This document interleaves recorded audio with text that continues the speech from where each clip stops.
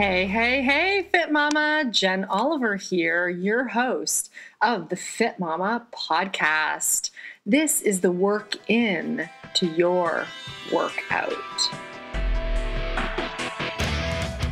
Fit Mama, welcome to today's episode. I am so excited, as I am every episode. I realized that recently that I say that every time, probably because I'm really, really excited. And I get so pumped to share the stuff that I do with you, whether it's an interview with an expert in their area or just a great human. Over the next year, over the next six months, I mean, I have so many great interviews coming your way. I am so pumped to share each of these with you. I am also inviting some really cool people on my podcast that are moms, really good friends of mine, and family members. I am inviting my sister, my sister in law onto the podcast. It is going to be so fun. And unfortunately, that is not today's episode. Today, you got me, and I am so pumped to share with you today this idea of emotional fitness. Emotional fitness. I have been talking about it now for the better part of years, and it's really being the title of a lot of interviews and topics that I'm speaking on lately. And the reason why I love talking about emotional fitness is because what I've realized in the last five years of doing Fit Mama Global, talking to Fit Mamas all over the world, traveling the world, checking out everything, and reading up on all things mind and body. You know, I will have you know, I do not read fiction books. And though I wish, and I'm often, you know, laughed at by my family because I really don't read anything other than help books, self help books, research out the yin yang, books and books and articles, and more of them. And my family laughs at me because, you know, they all love books. And I really like the idea of liking books, but I could read day and night on books that are nonfiction. And you know, one day I see myself reading more fiction books, but in the meantime, I literally read five books a week on nonfiction topics that relate to health, mind, body, soul, connection, depth, spirituality. And these sort of deeper topics that not many people are talking about actually always bring me back to emotional fitness. And that is the idea that you are fit in a way where you are responding to life and the emotions that come up and life as it throws things in your way, which it does, versus reacting, which is blowing, you know, blowing your top, yelling eh, or freaking out, screaming, starting to get, you know, anxiety attack, all the things. That if you're having that, that's not, you're not bad and there's no judgment, but this is an area where emotional fitness, it's like training at the gym to build your muscles and your heart. Training the emotional aspects of your life because what's actually happening for most of us, and I say us because I know I'm included in this, is that as we go through our life, and we're wanting to get fit, we're wanting to lose weight, we want to get, you know, trim, we want to look good, we want to look like the Instagram people, or we just want to feel good in our life. Why are we not feeling good, right? Life is good, it can be good. Why are we so feeling crappy? Why are we tired to the point where we don't want to get out of bed in the morning or we don't want to go to sleep at night, right? There's so much going on, and we think we have to change something really big in our environment oh my gosh, I have to stop eating this. I have to stop drinking coffee. I have to start going to the gym every day. But it isn't related to that. That's a symptom. I mean, it would be great if you went to the gym every day. I'm not going to knock it. But is that the solution? Not necessarily, because your issues, if you will call them that, your emotional outbursts, your stresses, your low level vibration emotions such as scarcity and feelings of non worthiness. This will never happen for me. I'm not worthy. I always mess up. This always happens to me. if you're finding there's language like always or never or not enough, or you're feeling not enough or scarcity around money, food, people, connected relationships, support, love, any of those things, if you're feeling a lack in those areas, it's emotional fitness that is going to have the most positive benefits for you. And what I mean by that is getting to the point where you are responding instead of reacting. Because when you're responding, you are observing, you're aware, you're connecting to what's really going on right now. Because what often happens when we are growing up and we're young, as we grow and then we get older, what we're doing today often is playing out an old pattern, an old thing that we did or experienced and we had no control over, we felt stuck, or we were traumatized in some way, physically, emotionally, sexually, however, these leave imprints on our bodies and our minds, and we rethink them, and new happenings around us play into these old experiences or these old stories. And it's over and over that we really relive the past and we blow up or we have outbursts or we don't, we think we don't like certain things. I mean, I was recently having this conversation with some friends, and, you know, we were kind of talking about uh, blowjobs of all things, which is kind of funny. So anyway, that's a pretty yeah, well TMI all of a sudden. But like we were we were talking about blowjobs, we were talking about s- swallowing versus spitting, and that experience of giving a blowjob. Do you like it?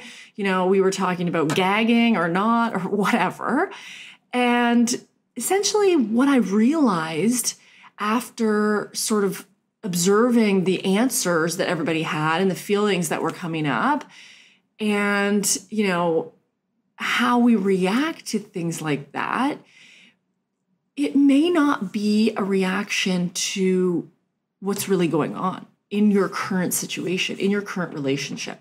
So for example if you know you are turned off by certain things, or you don't want to do certain things, or you always play into these same roles where you're cleaning up after everybody, you're doing everything for everybody. You get into this role where that's what you did when you were younger to keep the peace or to make things function.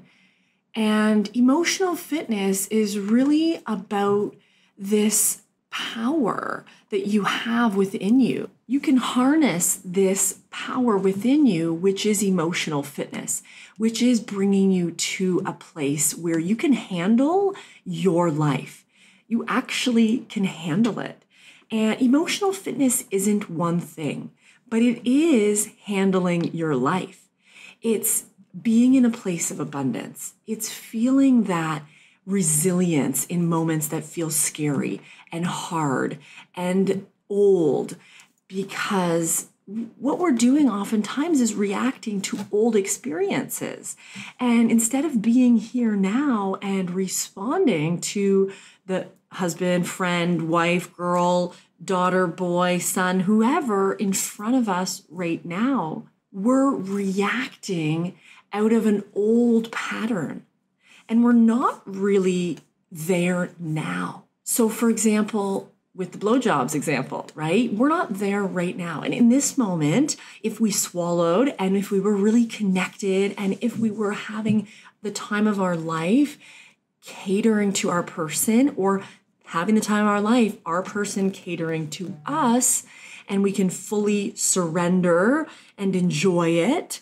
If we can do that, then we just might love that experience, enjoy that experience, experience that experience.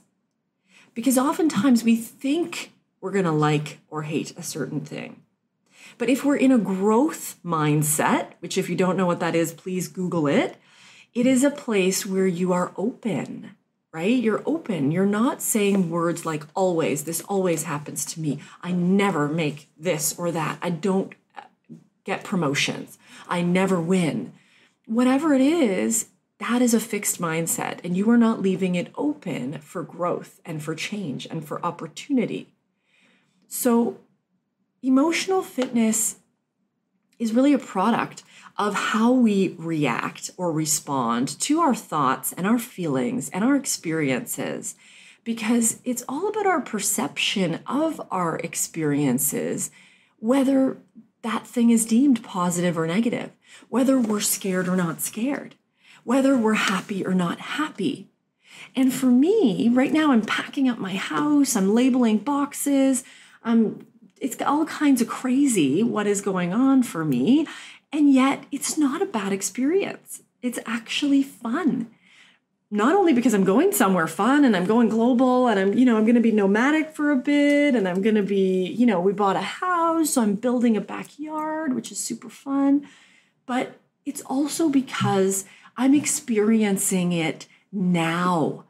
I'm not imagining all the other moves I've had and how awful those experiences were and how much they sucked and how much I hate moving in general and how much packing and unpacking sucks. Because, oh, those things, Fit Mama, we know they are true, but I'm not dwelling on those. Emotional fitness for me in this moment is what am I getting done each day? What else can I do to support myself? Okay, I'd like to go on walks and get in nature every day. Okay, I need to fuel myself. Okay, I need to hydrate myself because I love the way I feel when I'm peeing every 30 minutes and I'm energized, right? And this is a personal leadership. This is a personal leadership opportunity. Any shit that's going on in your life, any old traumas that are still affecting you today, which, let's be honest, almost all of our lives are made up of dealing with old traumas, experiencing them over again, and then labeling them something new that is today's problem, right?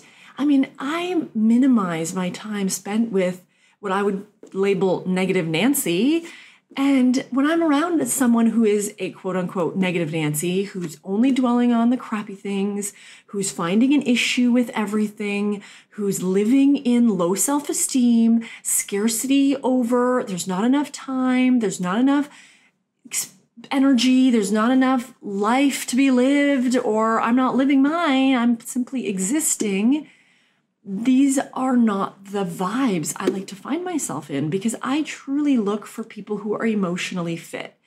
People who are not trying to put other people down to make themselves feel better in that moment. I mean, I can't tell you how many times I'm around people who they make fun of other people or they cut up other people or they point out flaws in other people or they want to talk about other people. And all that stems from being emotionally unfit, having your childhood traumas and the stories that evolved from them become your current day dramas, if you will. And it significantly impacts your day to day life whether you do or don't go to the gym, whether you do or don't eat healthy, whether you do or don't wash your hair, wash your face, take care of yourself, whether you do or don't decorate your home, take pride in your space, whether you do or don't clean your space. There's so many aspects of your life and activities of daily living, what pains you feel, what addictions you're experiencing at this time, what you're leaning on, what you're reaching for, your emotional fitness significantly impacts all these aspects of your life, Fit Mama.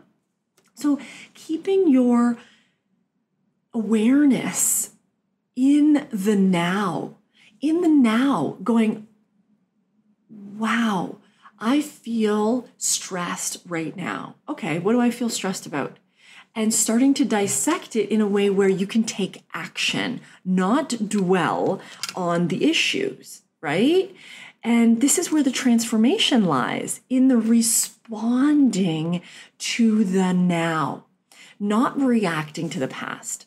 I mean, for me, we bought a house. We bought a house in a different country than we live in right now. So it was extremely scary. It was extremely different. I've never done that. It was a lot of paperwork. It was a lot of signatures. It was a lot of what could have been stress. And at the end of the day, all I did was do one thing at a time, read one document at a time, listen to one voicemail, call one person back, take care of one box, pack up one bag, call one client, and do all the rest of the things that I needed to do in between each of those other things, i.e., work and all the rest because all I could do was one thing at a time. And when I found myself doing the spiral, the downward spiral into emotional drama, which I've been known to do, and if you know me, you've seen that, I will very much stress myself out and start to think about all the things I have to do. And I watched my husband do the same thing.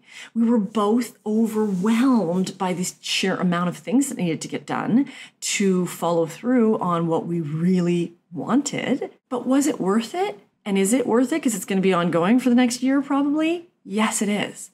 What is it going to take for us to manage it, handle it, yeah, there's fitness. There's going to the gym. Right now, we just closed up one of our memberships. We don't have another gym we're going to, but it's gorgeous out. So we've been working out in our home gym while we pack. Well, you know, don't pack it up yet.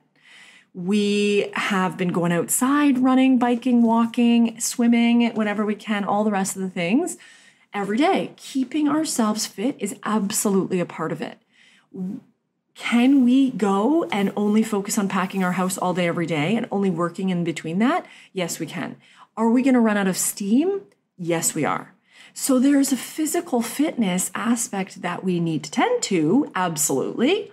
And you know, I love to talk about that. And if you're following me on Instagram at Love Jen Oliver, you know I am always posting about our fitness adventures, our fun. And we are also going to be posting more, my husband and I, on at the Olivers Travel because the Olivers are going traveling and we're going to be posting some pics. We're going to be having some fun with our girls. And we are going to be traveling and we love to share that stuff. We follow a lot of people who inspire us, who love to travel, who love love, who love health and wellness, mind, body, and spirit, all the good stuff because that's what keeps us inspired is being around positive highly emotional fit people who aren't using old traumas and dramas as their current they're not bringing that into the present. They're going how things can be different and how can things be different. And asking yourself those questions are the types of things that bring you into a place of true emotional fitness. So when you are aligning your desires with living a certain way or having a certain lifestyle or dealing with the crap that is in your current life, managing it, living a happy life, even in the face of any of those traumas and dramas. Because life, if you're really in the moment, there is no thing that needs you to worry about it. You can just be there. And when you ask yourself questions like, how can things be different? Or how can things be even better than this? If you stay in a place of gratitude and thankfulness for what you have, and you're still open to what's possible without making excuses and falling back into old patterns and stories, anything's possible for you, Fit Mama. And I know that because I see it happen every day with my clients. And it's freaking awesome. Like, awesome, awesome. Some of the things that my clients are telling me they're doing or that they're experiencing or that they're feeling are things that they never thought possible for them around freedom. And I don't think it's a coincidence that one of my number one values is freedom. I want to feel freedom that I don't feel stuck in my life. I don't need a vacation from my life. I don't need a vacation from my vacation because I surround myself with people who fill me up. I surround myself with experiences that fill me up. I mean, for me, I do breathing exercises, I do present moment awareness, concentration, core connection every single day. Which reminds me, I'm actually just leaving my house in about 10 minutes to go to my Pilates, which I have been doing two times a week, every single week that I haven't been traveling since 2015. Fit Mama, right now, as of this date, that is over four years. And that started with none other than Renati, Renati's. Pilates with Renee. Pilates with Renee, which again apparently is Renate's in my short form version of my head. So Pilates with Renee, she's on an episode of the Fit Mama podcast. If you search online, Pilates with Renee. I'm just going to meet her in 15 minutes. I am so excited to be here with her because, or be with her in the Pilates because she's taught me so much. She is always there for me when I have my appointments, as she does so well punctually. And whenever I show up, I connect to my core. She has me breathing. She cues my pelvic floor, my TVA. She's like, turn on those glutes. Think about this. Think about that. Feel this. Do you notice that? Breathe this way. Inhale. Exhale. I mean, that's two times a week for an hour that I do that. But on top of that, I do breathing every single morning, every single evening. It wakes up my core. It allows me to bend. It allows me to face the day and approach my family and friends and clients with so much love, so much presence, and I am there for them. And for me, that's emotional fitness. And that's me aligning with my physical. How can I take care of myself? Because this body, I'd like it to last. It only has one heart and it only has one set of lungs. It only has these legs. And when I berate them and treat them not well, that doesn't serve me well. So I how can I feel good emotionally about this physical being? That is very helpful. Then the mental side, how do my thoughts affect my physical health? In every way, Fit Mama. In every way. Your thoughts affect your physical health in every single way.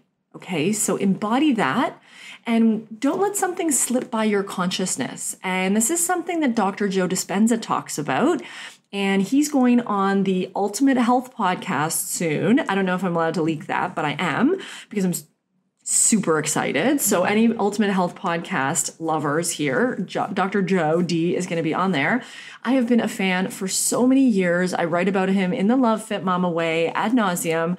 And Jesse, Dr. Jesse Chappus, and Marni Wasserman from the Ultimate Health Podcast have become such good friends of mine here in Windsor, which I'm sad, sad, sad beyond to leave some of my Windsor family, like friends, Marni Wasserman, Dr. Jesse Chappus. I have my girl Heather Chauvin from the Mom is in Control podcast, who I freaking love. And I have such good friends here because they're these kind of positive, highly emotional fit, highly aware and awake people who are not trying to cut other people down to rise themselves up. They rise naturally because of who they are, and they're doing it by raising other people up. And they have Dr. Joe D on there, which is so fun. I remember introducing them to them I remember telling them all about him, and they soon then after looked into him, and he is such a game changer. So I can't wait for what they bring out because the things they bring out on their podcast are not what they do in all the other interviews. And when you follow someone like Joe Dispenza, you can YouTube him and you will find all his stuff. And there's so many overlaps, which allows you to really understand the content but it also is somewhat repetitive and you hear the same stories over and over and i can just see that they're going to bring out some really cool stuff from him. So i'm excited for that episode. And what he says and this is why i bring him up is thoughts become things. And he's not the first to say that but he is the first to really help us embody that in a way where he teaches you techniques, breathing techniques, mindful techniques, meditation techniques, and tools to allow you to not let thoughts pass through your consciousness that you don't want to happen. And this is really important because so many of us do this thing called catastrophizing, where we go, Oh, imagine this happened to our child, to us, to someone we love. Imagine this happened. Imagine I lost my job. Imagine I had no food. Imagine my roof caved in. We think of all these negative things and then we go spiral into this negative catastrophizing, imagining all that could go wrong. And what Dr. Joe D, in all of his research, has shown us is that this opens up this portal, almost this allowing for it to actually enter into your life because what you visualize, what you imagine comes true. And that's just because thoughts become things. That's because you're in a vibration of imagining these things. And if that's a really low vibration and it's a lot of scarcity and anxiety and fear, negativity and hopelessness, that's what you attract. That's what you bring more of. And that's what you actually create through your thoughts, you start to see people around you who are also in that scarcity that confirms, oh, yeah, there isn't enough money. There isn't enough time. Whoa, everybody around me is stressed out. I must have to be stressed out too. My life must be stressful. People put stuff on us. And that is just natural because that's what they learned. And that's what a lot of us do to cope with a lot of the crap that was put on us, oftentimes by parents, older people, coaches, friends, you know, priests, whomever we take on other people's baggage because we are empathic beings and we naturally feel as children that it's our fault, it's our problem, we must have asked for this, we must have provoked this, we must be to blame for this. I mean, I'm a product of divorced parents. I'm a product of a new Brady Bunch style family where my mom got remarried to my stepdad, who they've been married now almost 25 years, and he has two children and, you know, at any different time and stage in our life, we've all been estranged from each other. Whether it was we didn't talk to my dad, he didn't talk to his children, we didn't talk to his children, we now talk to his, you know, one of his chi- children. And then we have, you know, this is the dynamic of our family. And, this leaves imprints on our being, on how we see the world, on how we partner with our partner now, and how we interact with all the people in our lives. And if we bring all that trauma in and create it into today's drama, we just create more of that instead of surrounding ourselves with people who lift us up, who are also dreaming in technicolor and making things possible. And that is what I love is that anything is possible. And that's the beauty of being emotionally fit is that you're here now in this moment, in this life, experiencing it as it is. And if it sucks, it sucks, but you're here to experience it. You breathe in and out multiple times on a daily basis. And the more connected to your breathing you can be, Fit Mama, the more you experience the joy that's available to you right now. Because if our thoughts are always thinking about those negative past experiences, all that happens is that we feel that stress, and that pretty much dictates our life and how we experience it. So, this is about realizing this and no judgment, and then saying, hey, you know what? I'm going to start responding to what's going on right now and not reacting to what this means because of the story that I'm creating and all the drama that I want to live through. Because actually, oftentimes we're addicted to our drama. And I don't know if you've heard about this, but I've been doing a lot of research now on addiction. And uh, it's interesting because all of us have these addictions and addictive patterns. And I see it even with my kids, the sort of things that they gravitate towards when they have uncomfortable feelings. And, you know, my my little my older one you know when the little one kind of bugs her or whatever or she feels kind of out of control or doesn't have you know opportunity to do what she wants to do because her sister's being this way or that way you know she naturally and she's never witnessed this you know she goes to her room she slams the door she's frustrated she you know she yells or she kind of just has this emotional release in the physical way which is you know anger or whatever which is great. And i really encourage her to you know, breathe in that moment and allow that energy to dissipate because we talk about emotion as energy in motion. And when we can just leave it as that, and when we cannot create it into drama and then experience it through, you know, taking or lashing out on someone else or taking it out on someone else, you know, responding instead of reacting, that is emotional strengthening, emotional fitness. That's strengthening that muscle of willpower, self regulation, you know, self control. And it's not about quelching your feelings and crushing your, you know, what you're really meant to feel in the spectrum of feelings, but it's like, okay, I'm sad AF right now. What do I need to do to process that? Is it going into a room and yelling and screaming? Is it punching a pillow over and over until I realize I'm hurting my arm? Is it going to a boxing class and doing kickboxing so you can get that aggression out? What is it for you? For me, it's breathing. For me, breathing connects me back to now. I do a really deep inhale, which is how I got through my labors. It was all breathing, and I had incredibly quick and sort of pain free. It was painful. I remember squeezing people's hands and freaking out, but it was quick and painless in the way that I breathed through it and I got through it and I knew I could do it and I had the tools and the people around me to support me through it. And that was emotional fitness. Even back then, my daughter is now eight.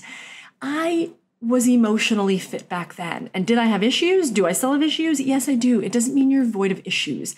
It means that you are in that present moment, you're utilizing what's going on right now. You're staying open and curious to what's happening right now, and you're processing it and then responding. In that moment, I could have freaked out. I could have been like, "Oh my gosh, I'm, ha- you know, I'm in labor, and my husband isn't home yet. My midwife isn't here yet." I was free. I could have freaked out, and I was kind of freaking out, and that made the pain worse. And what I did was Inhaling, breathing, whether it's through your nose, through your mouth, whatever method feels right in the moment, that is your magical gateway, Fit Mama, to the miracles that are possible in this moment, which is feeling no pain, feeling no drama, creating no trauma, or recreating no trauma because you're just here now. And if you are safe, which if you aren't in a safe situation, get yourself there, please, ASAP. But most of us are in a safe situation. And then we create the hormones of stress over and over and over. And we live by the hormones of stress. We become addicted to the hormones of stress, and it becomes our go to instead of the tools we know are possible for us, we know are at our fingertips. So that's all for me today, Fit Mama. I could just go on and on and on. I'm going to do a podcast really soon on breathing. I am breathing through this move. I am going global. I can't wait to connect with you online if we aren't connected yet. PM me, DM me. Let's hang out. Hang out in the Fit Mama group. We're there. I am always around online. So see you soon. Breathe through it. It's life. It's exciting. Respond. Don't react as often, or at least become aware when you are reacting so you can do a do over and respond. Love, love, love you, Fit Mama. Love Fit Mama. All the goods. Have a great day. Namaste.